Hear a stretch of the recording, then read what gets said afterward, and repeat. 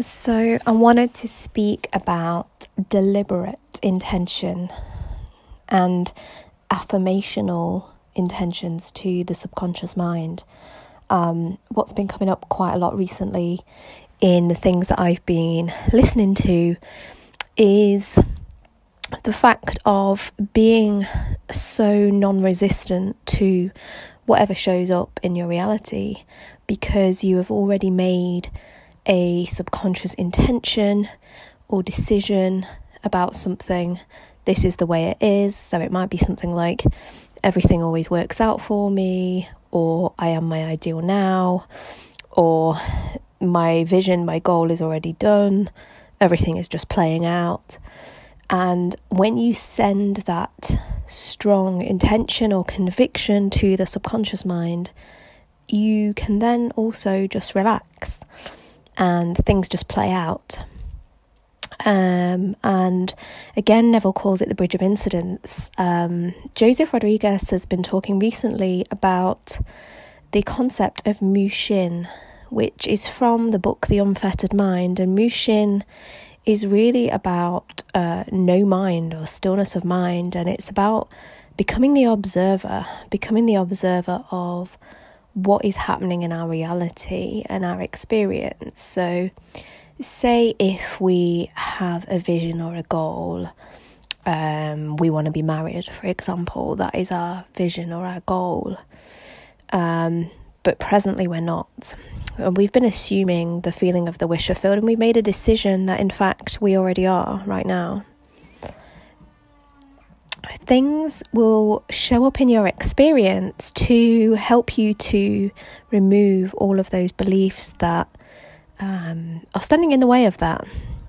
Um, and things are sort of playing out ideally, and the only way that you wouldn't get that is to attach yourselves to your negative beliefs or attach yourself to the idea of suffering or that things aren't going and in the way that you particularly want them to go. So, in other words, you try and force or control the situation as to how you think it should play out rather than making that subconscious decision and letting things play out effectively. Um, again, I think I've mentioned it quite a bit, but it's about flowing, not forcing. And when you come to this place of Mushin, uh, no mind within yourself, you've already set the intention, right? Um, as um, Edward Art and Neville Goddard says, no one to change but self. So we go within, we change the belief, we make subconscious decisions, and if we don't necessarily believe it, we can continue to impress the subconscious mind with that belief, with that feeling, and carry the mood. Um, and then how we kind of move and easily flow towards that experience in an effortless way is to do something that uh, Bruce Lee talks about, which is to be like water. Bruce Lee talks about be like water, my friend. And what, what does that mean, be like water? It means having a fluidity of mind.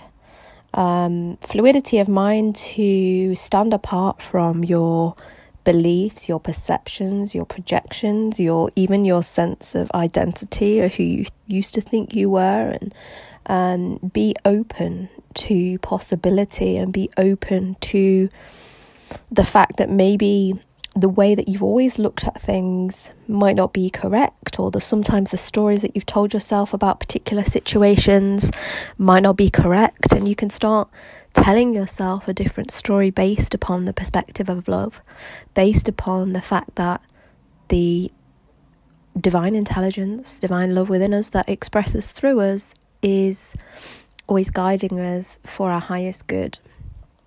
And um, if you're into Abraham Hicks and things like that, they talk about segment intending. They've got a process called segment intending, and you can do this, um, I guess, on a small scale. Um, so it's just about, say, you're going into a new experience, say, you're going to the shops and you want to find a particular item because you're going out in the evening and you've got it in mind that you want you set the intention strongly that you have it, and then you can just let it go out of your mind and see what happens and just trust.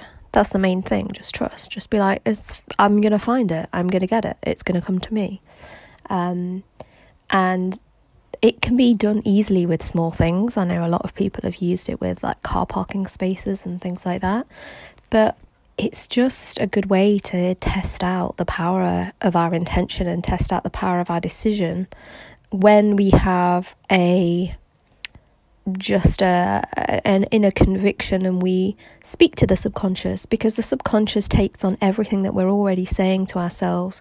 Our inner dialogue it's always listening to us and it will always accept what we believe as true. Our subconscious doesn't take a joke you know it completely absorbs everything that you believe so we are the only suggester and interpreter in mind so it doesn't even really matter whether you're going to the shops with somebody else and they're like, you're not going to find that jacket that you wanted. It's probably not going to be here because, you know, the shops are changing their season or clothes or something. You know, it doesn't really matter what the external says, it's about your feeling and belief. Um, and yeah, making that fluidity of mind. Um, a priority, really, because when we have that fluidity of mind, we aren't repelling, we're not trying to force or control circumstances. And um, yeah, there's there's some amazing stories. Um, I think even in Neville Goddard's books, he talks about a girl that wanted um, some bananas or something, and she just made the decision that she was going to get these bananas, and her mum was like, The shops are shut, I can't get you a banana. Um, but the girl was like, No, I'm going to get a banana before I go to sleep, before the next day, before midnight. And the girl went to bed and there were still no bananas. And the mum was like, Look, I'm sorry, you won't get a banana. It's, you know, but the girl was like, I'm getting a banana. Like, it's, it's, it's done. It's fine. Like, she wasn't worried and she went to sleep. And then about 11 o'clock, something like that, one of the neighbours knocked on the door and said, I'm sorry, it's really late. Um, I don't know if you wanted these uh, bananas. They had. it was a pretty random experience. But then, of course, the woman said, Yeah, sure. And, um, you know, brought the bananas up to the girl. And it just shows that, like, the power of faith and conviction. And when we give that direction to the subconscious mind. It's just like programming a sat nav. It's just like, that's where we want to go. And then, you know, just like a sat nav, the subconscious mind will just follow that route unless you give it a different route. So once it's done, once it's been fed that suggestion, you can just relax and let go. Um, don't put in another suggestion to the sat nav that will take it in the opposite direction. Um, yeah, have that sort of uh, intention and um, yeah, see what flows from there. I think having a conviction everything works smoothly and everything flows smoothly, even if things don't ordinarily look like it on the surface, is a really good um, perception to have because then we don't become reactive. Um, we only become reactive because of our meaning and our interpretation. Um, and Joseph Rodriguez talks a lot about this is what meaning or interpretation are we giving to our experience? What meaning or interpretation are we giving to our environment? What meaning or interpretation are we giving to that person, to that situation, to that circumstance? Something shows up and we will react inside. We will make a story about it based upon our beliefs, but we can always change those beliefs. We are the only suggester and interpreter, and there is no one to change but self.